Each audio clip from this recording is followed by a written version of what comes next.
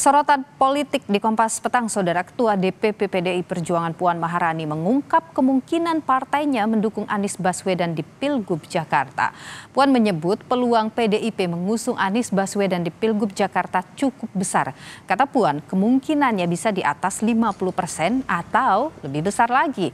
Puan bilang sudah ada komunikasi informal dengan Anies. Namun menurutnya Pilkada Jakarta masih akan dinamis hingga mendekati batas waktu pencalonan 27 Agustus mendatang. Sebelum pernyataan terbaru Puan Saudara, sejumlah elit PDIP menyebut memprioritaskan kader internal di Pilkada. Salah satu yang mencuat yakni Basuki Cahayapurnama alias Ahok.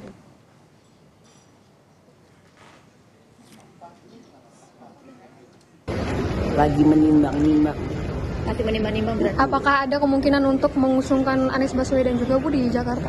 Mungkin saja. Mungkin saja. Apakah berapa persen kemungkinan Ibu? Apakah di atas 50 persen?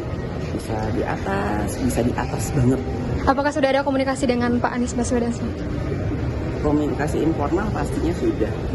Kan waktunya masih panjang sampai bulan akhir bulan Agustus nanti, jadi masih banyak waktu kita untuk melihat perkembangan yang ada dan dinamika politik yang masih berkembang. Wakil Ketua Umum PKB Jazilul Fawaid menjelaskan alasan partainya belum resmi mendeklarasikan dukungan untuk Anies Baswedan. Jazilul bilang PKB telah mengusung Anies melalui DPW PKB Jakarta. PKB belum resmi mendeklarasikan Anies karena ingin koalisi pendukung Anies makin besar dan menunggu siapa yang nanti jadi lawan Anies. Kata Jazilul, kalau berdasarkan survei, Anies nggak ada lawan. Kalau ada lawan, lawan untuk kalah.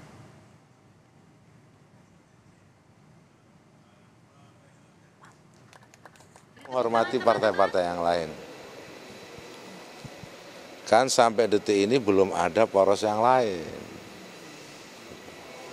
Kalau kita mengikuti apa namanya hasil survei, ya Pak Anies ngomong kosong, nggak ada lawannya. Kalau tahu ada lawannya, lawan untuk kalah saja kan. PKB ingin partai koalisi pengusung Mas Anies itu lebih besar lagi lebih memastikan dan juga menunggu siapa sih sebenarnya lawannya. Eh, Ini waktu tinggal satu bulan. Ketua Umum Partai Demokrat Agus Harimurti Yudhoyono mengungkap alasan Koalisi Indonesia Maju belum memutuskan siapa calon gubernur Jakarta.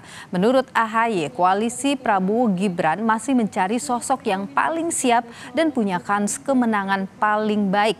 Sebelumnya, Sekjen Partai Gerindra Ahmad Muzani yang juga bagian dari koalisi menyebut Kim tak khawatir melawan Anies Baswedan di Pilkada Jakarta. Salam komando tangannya. Uh, Koalisi Indonesia Maju masih juga terus mencari siapa yang kira-kira paling siap dan memiliki kans kemenangan yang paling baik.